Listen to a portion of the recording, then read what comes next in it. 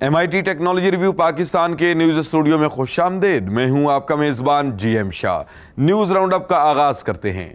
Bulletin کے آغاز میں آپ کو بتاتے ہیں کہ پاکستان کے نیشنل گریڈ سسٹم میں چار سو سے پانچ سو میگا واٹس بجلی شامل ہو گئی ہے۔ اس حوالے سے سندھ میں واقع گڈو تھرمل پاور سٹیشن کو حال ہی میں اضافی گیس دے دی گئی ہے۔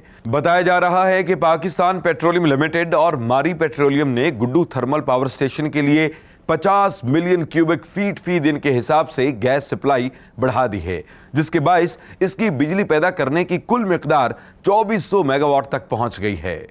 اور اب آپ کو بتاتے ہیں کہ امریکی ماہرین نے انسانوں کے ساتھ کام کرنے والا نیا روبوٹ تیار کیا ہے۔ اس روبوٹ میں جدید سینسرز نصب کیے گئے ہیں، جو اسے انسانی موجودگی کے بارے میں آگاہ رکھتے ہیں۔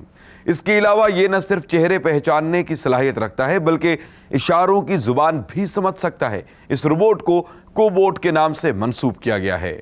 اور اب بولیٹن کے آخر میں آپ کو بتاتے ہیں کہ سوئٹزرلینڈ کے ماہرین نے دماغ سے کنٹرول ہونے والی مشینیں تیار کی ہیں۔ ان مشینوں کو کنٹرول کرنے کے لیے ای ای جی ہیلمٹ کے ذریعے دماغ کو برین مشین انٹرفیس یعنی بی ایم آئی ٹیکنالوجی کے ذریعے ٹرین کیا جاتا ہے، جس کے بعد دماغ مشین کو کنٹرول کرنے کے قابل بن جاتا ہے۔